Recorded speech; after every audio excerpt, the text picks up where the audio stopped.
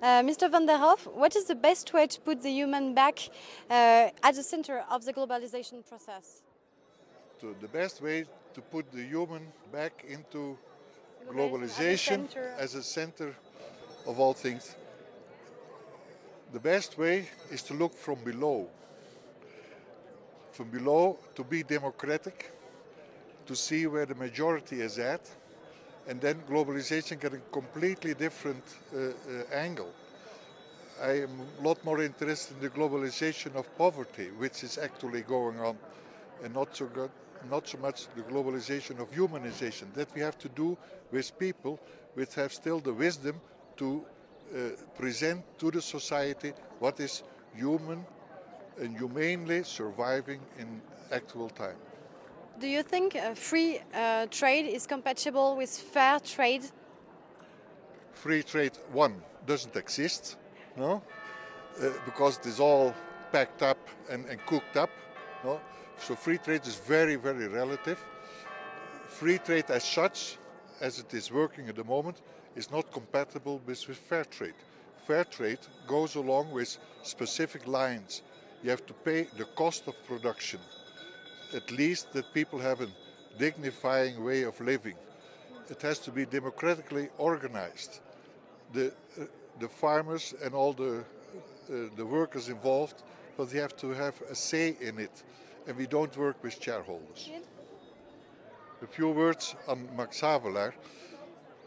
Of course, it has now almost 20 years that it is uh, going on, 22 years. And there are several stages in the whole process. Uh, and now it is more or less a movement because there are different players in the market. Max Havelaar, uh, uh, uh, WTO, WFTO, the World Fair Trade, Trade Organization, and in the south we established our own fair trade, which is more political, uh, the CLAC seal. The coordination of Latin America and the Caribbean, together with the Africans, we uh, established a South-South fair trade and, and with this part of the of the movement, uh, different angles.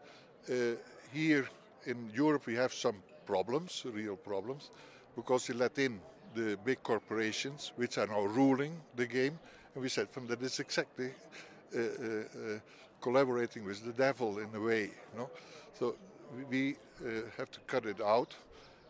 We are not against them, but we cannot work with them because it is a completely different philosophy and a completely different setup of what economics and what trade should be. We still uh, defend fair trade, but fair trade uh, for, the, for the producers and, and for the consumers. And, and, and, and we have still to struggle out and to sort out what, what it uh, uh, really can be. But that is part of the movement, to have that discussion. And there is a lot of discussion going on. Uh, about the Zermatt uh, summit, I didn't have a clue what was it all about. One, it is far out for me to get all the way to Zermatt. And then in a very nice hotel, etc. So I have to uh, accustom myself to the environment, which is not my environment. No, that is very clear cut. But I think when there are very concerned people here, thinking people, and, and with with this uh, uh, uh, assembly, I think we can make an, a step forward.